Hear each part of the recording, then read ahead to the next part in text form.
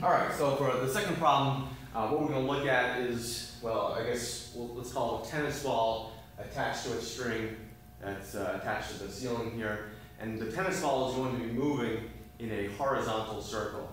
So we've kind of uh, drawn out the trajectory of the tennis ball here.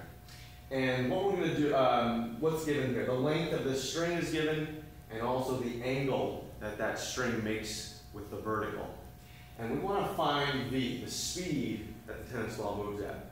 Now we can kind of imagine that there's only one speed that's going to go with each angle because, well, if it's not moving very fast, we would imagine it to be a pretty, a pretty shallow angle here. It's going to kind of droop down a bit.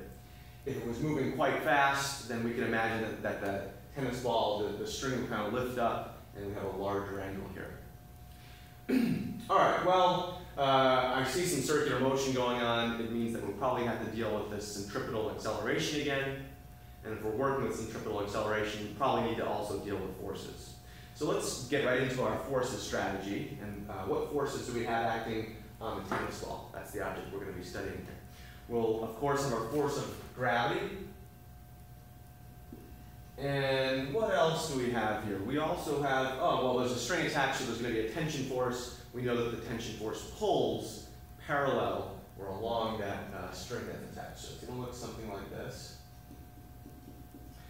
And uh, there, actually, there's there's no other forces. This there's there's no friction involved. It's not sliding and anything like that. And there's nothing pushing the tennis ball, so there's no normal force. So this is it.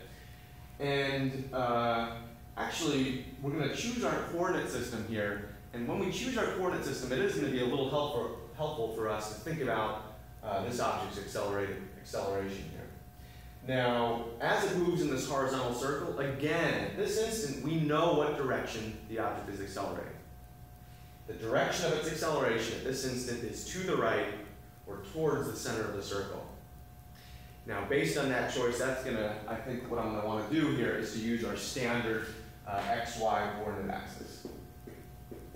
All right, so those are our X and Y directions. Uh, and so, actually looking ahead, I can see that my force of gravity, that's going to be directly in my negative Y direction, so that'll be relatively easy to work with. My tension force has both X and Y components, and so let's go in there right now and uh, draw our right triangle that's going to help us with those x and y components. And so I'm going to I'm going to want to draw in a y component for this. We're going to make a triangle here. And I want my y component to be parallel with the y-axis, and I want my component to be parallel with the x-axis. My tension force arrow is the hypotenuse. Now, one other thing, and I'll just put this real quick here. Uh, we know from geometry class that if I have some parallel lines here, that whatever angle is here is going to be the same angle that's here. So we can apply that, oh, if this is angle theta, then I will also find angle theta right in here. All right, so at this point, uh, we've got our force arrows, we've got our coordinate system, we're all, we're all set to uh, use Newton's second law in both the x and y directions. And so let's start off, uh, let's start off with the x direction uh, this time. And so what are we going to have here?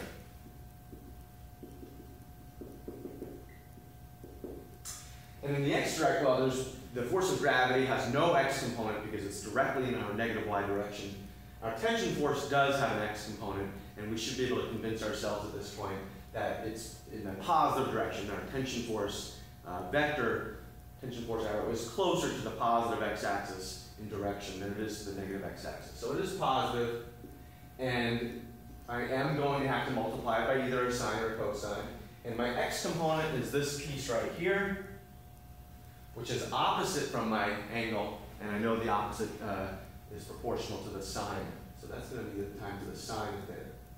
And so that's it. We've looked at all of our forces, and we've found their x components and added them up. And now we're ready for this side. Now, the mass isn't given, uh, and so, well, after a brief moment of panic here, we just write in m. And then we need to think about our a sub x. And again, whenever we have this circular motion, we're going to have to have this uh, information ready. And that is that, look at my x-axis. It is directly lined up with the direction it's accelerating, it's accelerating, and we know the amount of acceleration uh, is v squared over r. Where v is the speed, actually that's what we're looking for, and r is the radius of the circular trajectory. Now, we can't do too much more. Actually, I guess we, we can do one, let's do one more step here. And that is, yeah, the radius of the circular, circular trajectory, it's not given in the problem directly, but we can find it by creating an additional right triangle right here. We want this distance. That's the radius of our circular trajectory. And we should be able to see that this is equal to the length of the string times the sine of theta. So I guess we can plug that in here.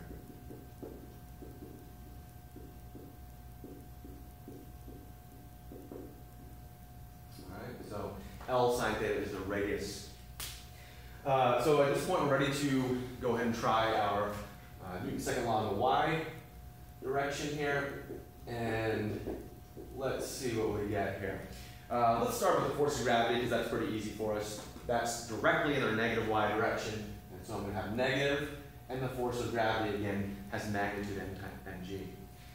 My, the, the y component of the tension force, that is going to be positive. The tension force uh, is pointing upwards. And so that's, we're going to have positive, the tension force. And now we want this part of our right triangle, and that is adjacent to our angle theta. And so I need to put in the cosine here, multiply by the cosine. Now over on this side, um, just like we had some special information about a sub x here, we need to know something about a sub y. And we've seen this in a few problems now that as this thing moves along a horizontal circle, there's absolutely no motion up or down in our y direction. There's no motion at all in the y direction, and so this is going to be zero. And so uh, at this point, actually I think what we're going to want to do here is to solve for this tension force, and then we can plug it in right here. There's a little bit of algebra involved, but I think we're on our way here. Um, so I'm going to skip a step or two here maybe. Let's see, I'm going to get tension force is this. And now I'm going to plug that in right over here. So let's see what we get.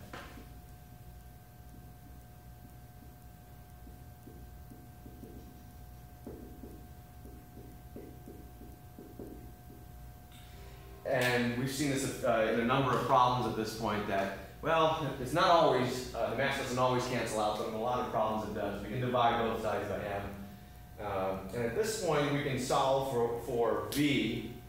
And let's see here, I'm gonna, well, I'm gonna get, well, skip, skip, skip, skip a couple steps, uh, but you can work through these steps. So I'm gonna get v here, and that's gonna be, let's see, the square root of g L, and then I'll have sine theta times the tangent of theta, all inside of this square root. So you can double check those algebra steps. Um, but at this, let's see here, we know the value of g, of course, we'll use 10 in our exams. The length was given, and the angle here was given.